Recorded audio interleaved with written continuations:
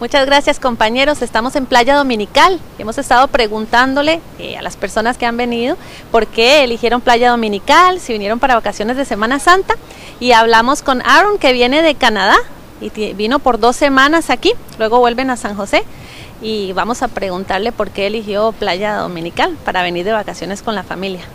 Uh, why did you prefer uh, Dominical Beach uh, to come here with your family? What's the reason? What's the main reason?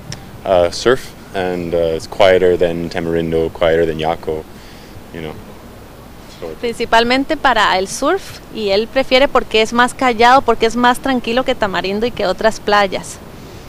But you think there's a lot of people here in Holy Week on vacations? Have you seen a lot of people?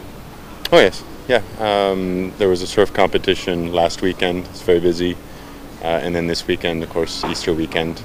Uh, lots of ticos have come to to sleep on the beach, and yeah, it's been fun. La semana pasada hubo una competición, entonces hubo muchas personas aquí y también hubo eh, bastantes ticos. Dice él que fue pues muy divertido. Al igual que esta entrevista que nos concedió el turista canadiense, muchos visitantes, tanto nacionales como extranjeros, visitan Playa Dominical como destino turístico.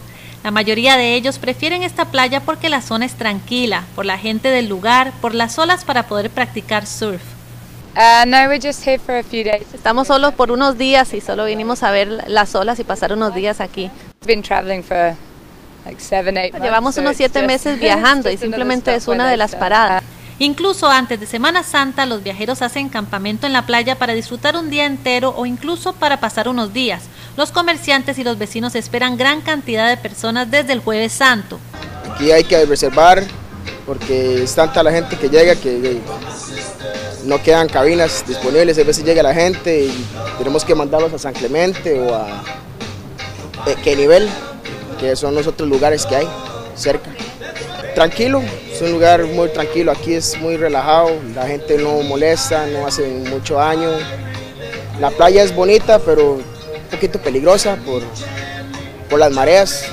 Uno tiene que estar pendiente siempre también de eso de sobre las mareas.